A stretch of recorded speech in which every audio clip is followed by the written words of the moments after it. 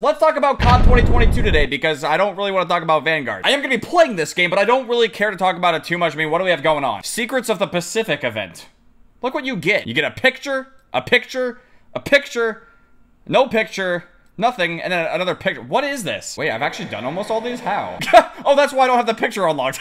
okay, it's actually showing in-game items. Wait, what do, I, what do I have to do? Vote for team MVP in 10 matches and then play matches with another member of your clan five times. Gotta get the clan together for some MLG game battles. But yeah, we're gonna play some Vanguard today. I don't even care what it is. It's nothing personal. It's nothing against Call of Duty Vanguard. And really, it's not even that bad of a game. I just kind of feel like talking about the next COD already. I know you guys are probably watching this and you're like, Eric, is it really that bad? Is COD Vanguard really so bad that we're already talking about the next Call of Duty game? I mean, we kind of were already. Before Vanguard's release, there was already leaks and rumors about the next Call of Duty game being Modern Warfare 2. 2022. Another soft reboot like Modern Warfare 2019, which is still so ridiculous. Like, why are we talking about this so early? How do we have information? So yeah, I thought it'd be pretty interesting to discuss because, you know, it's really strange that we got Modern Warfare 2 campaign remastered, but no multiplayer. It kind of begs the question, are we going to get Modern Warfare 2 multiplayer remastered next year? It's just really strange that there's rumors about Modern Warfare 2's multiplayer being remastered but never being released. And then we end up getting leaks saying that in 2022, we're gonna get Modern Warfare 2.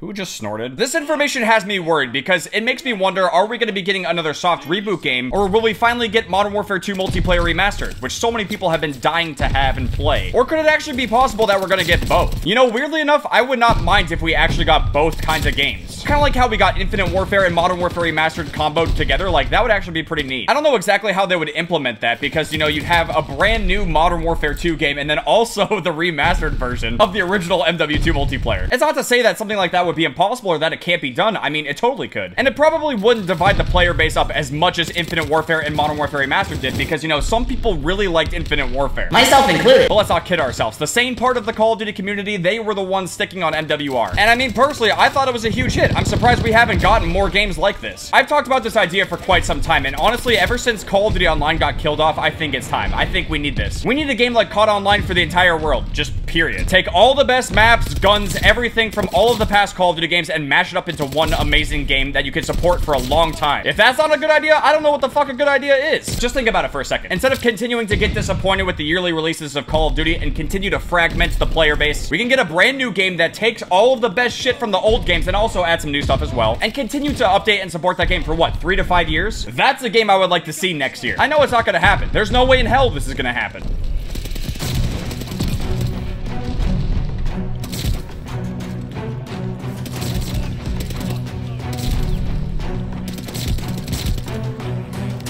What is wrong with me? What was that? Was that a kill chain? Can't argue. Can't argue with a good shot. What did I get? Ultra. Oh, it wasn't even a kill chain. Scrub. But if an idea like that sounds too good to be true, it probably is. It's probably not gonna happen. That was me, Momo, that was me. What time is it? Your fucking bedtime. Vote blurry, handsome Squidward. Why is everyone blurry at the end? Everyone's out of focus. Child. No, it's not Outta here. bedtime. That kid sounds so tired. I'm not tired. I'm just grinding Atomic Camo. I've been playing for the whole weekend nonstop. I don't know why it's so strange to me. Like, anytime this community has good ideas, it just feels like it never happens. Like, it... It, doesn't, it just doesn't get listened to. It's like having a suggestion box, but instead of it being a suggestion box, it's a paper shredder. Also, I should have probably mentioned that my match...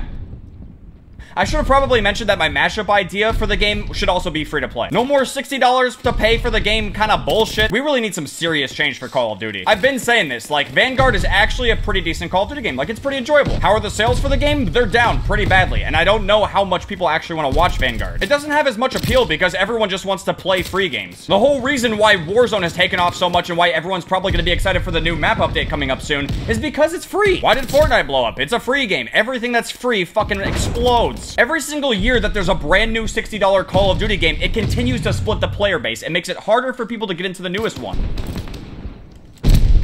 I've... I've gammon bombed this guy twice. And his name is Just a Fun Game. There's no way this dude's having fun. Good lord. Ah. Whoever keeps throwing smoke, your mom's a hoe. Whoever used fire rounds on the STG, your mom's a hoe. I'm using fire rounds on an MP40. I have no shame. I don't know, man. I'm just kind of worried because Vanguard is basically a classic Call of Duty game. We've got old weapons back. We've got some classic maps coming back from World of War. Game chat is lit as fuck. But since not that many people are buying this game, I don't think they're really inclined to care to watch it. I don't know. I just kind of feel like everyone in the COD community should probably also consider this as well. I don't think we need to panic, but we should definitely be aware of the fact that, like, we don't know what the fuck is going on with Call of Duty anymore. Because if next year's Call of Duty game is either Modern Warfare 2 2022 or Modern Warfare 2 multiplayer remastered and it doesn't do well, where do we go from here? Like, seriously, what the hell do we do? Because if it doesn't turn out to be a massive success, I don't know what's going to happen to this franchise. In the corner. In the corner. Oh, oh my, what is this camping? Next level. You know, a big reason why I thought COD Online should have been made worldwide as well is because it is a big project. Like, it's a big idea. It's something that actually is very ambitious and innovative. It's something that's never been done before for Call of Duty, and I think it could actually get people pretty hyped. Call it in. Can I run over my teammates with a Goliath in hardcore? I don't even think I've tried to. Let's see. it just moves them. oh, wait. Oh, I maxed out my team kills, that's why. I don't know, I just want to see some actual change happen. I want to see something big happen for Call of Duty. If I'm not mistaken, if I go back and do like a history of Call of Duty video like I've done in the past, there's like 20 plus Call of Duty games to play and record. We should get something big and awesome for like, what, a 20 year anniversary of Call of Duty in like 2023? I can understand if this doesn't happen in 2022, but in 2023, I believe that's the 20 year anniversary of COD. They should really go big in 2023 if it's not going to happen next year. That's all I'm saying. Now, there's always that chance that with the Warzone map update, that could actually help improve the sales of Vanguard because people are going to want to play Vanguard to rank up the weapons really quickly on there. But we'll just have to wait and see if that's actually going to happen, man. I mean, like, people might just only play Warzone to do all that shit. Because again, it's free, but Vanguard is $60. And I don't really feel like Vanguard is a $60 game. I mean, maybe more like 20 or 30 if you can get it on sale, that's great, or if someone gives it to you. Zombies mode, don't even bother. I haven't finished the campaign. I mean, like, it's okay so far, and multiplayer is actually pretty good. We went from talking about the next COD to a mini review of Vanguard.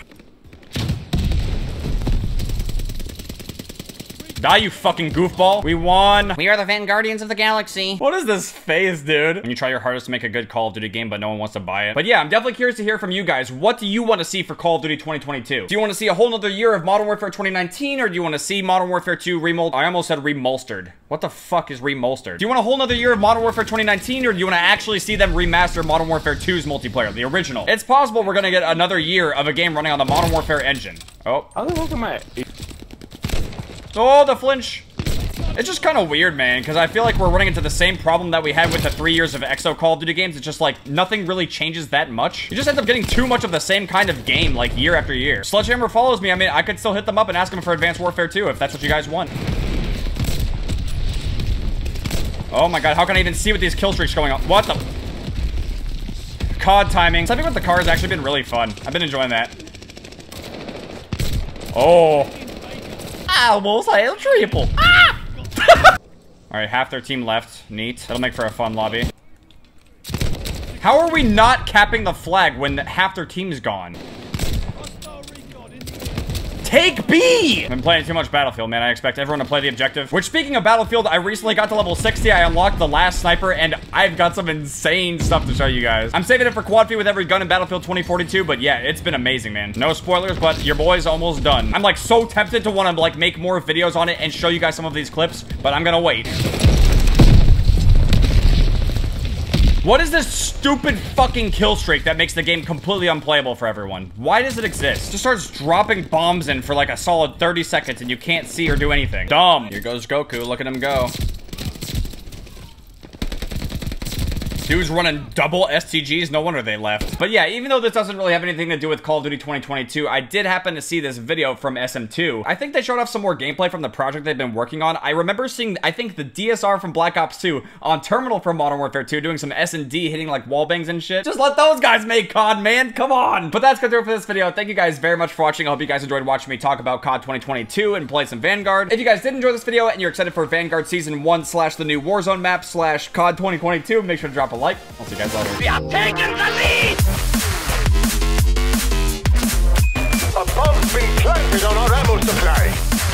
A bomb's been planted on our ammo supply!